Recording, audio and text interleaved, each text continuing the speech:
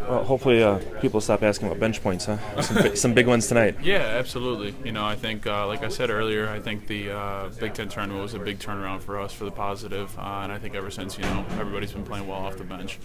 How uh, nice was it to see Showalter getting the, into the act in the second half, and especially the timing of those points. It was great. You know, I'm really happy for Show. He's worked his butt off all season long, uh, and I'm just happy that he was able to have a have a good game and in such pivotal moments have some big buckets for us.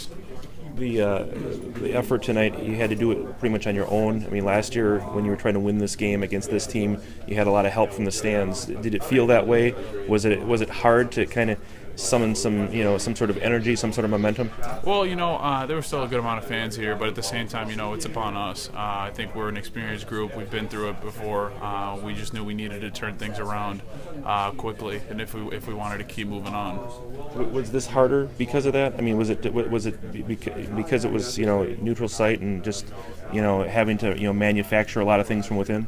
Uh, I guess, but you know, you don't really look into it that much. I just think they were they're, they're a better team. You know, their their Oregon was re- really good this year. Uh, I mean, Joe Young was unbelievable, uh, and they never went away. You know, every time we took a lead, they seemed to rally back. Um, but you know, we stuck with it and uh, ended up pulling it out.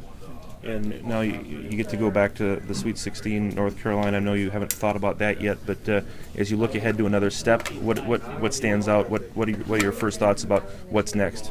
Ah, well, I'm just excited to get to some hot weather. Uh, that's for sure. Uh, get out of here, but you know that's just another opponent that's that's uh, going to be awaiting us uh, tomorrow. You know, we'll uh, get off our feet and get our scouting report done and uh, get ready for North Carolina.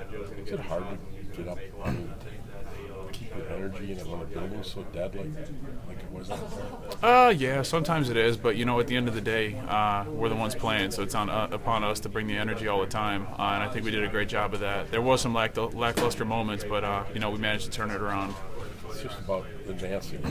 I mean, realistically. Survive and advance. Yep, that's all it is.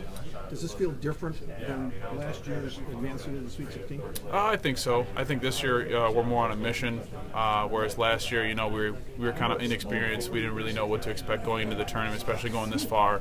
Uh, but this year we have higher goals. You know, this is just another, another step towards what we want to achieve.